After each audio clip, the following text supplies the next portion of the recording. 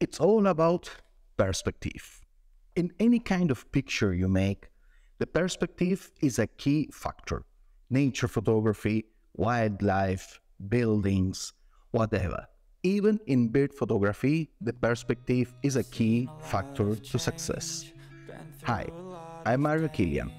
I'm living in central Germany. I have been taking pictures for more than 40 years. Now I will teach you all the secrets I learned from right to wrong, how to take the best pictures with your camera gear. Way back a year ago. I've changed for the better this time. A big secret to get perfect bird photos is to use the right perspective. I mean the right angle where you're taking the pictures from the bird. What I mean exactly with this? Let's go out. I will show you.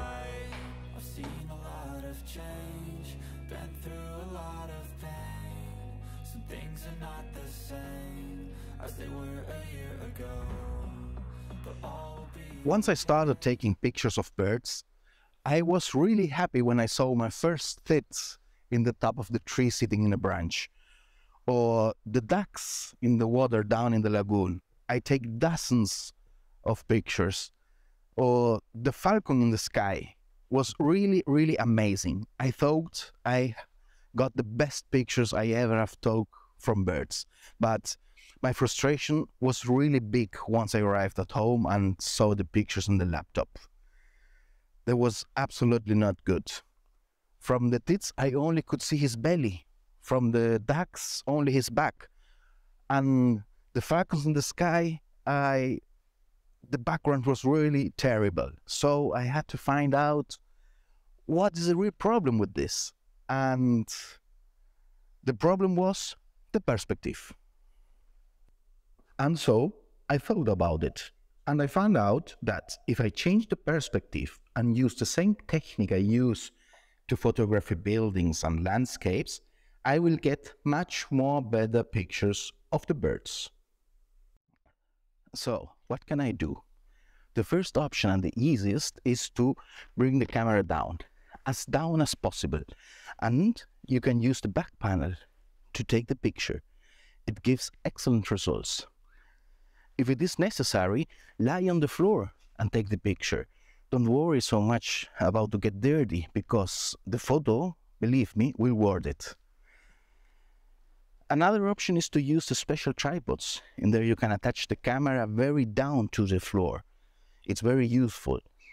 If you're photographing birds in the water, maybe a more extreme solution is to get into the water and take the pictures. Believe me, the photos will be awesome.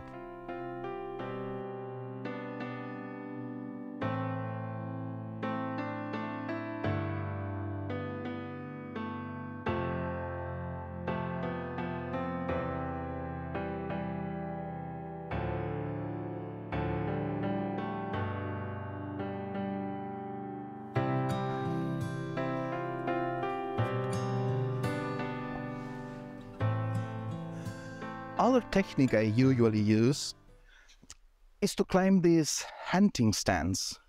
These give you a medium height and are perfect for shooting birds on a mid-range height.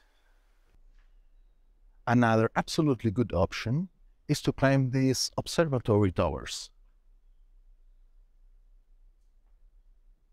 From up there you can get the best pictures. Let's go up. Well, up from here, you have the best chance to get that falcon in flight, the birds on the top of the trees, and maybe to get some nest with newborn birds. It's cold and windy up here, but it's worth it.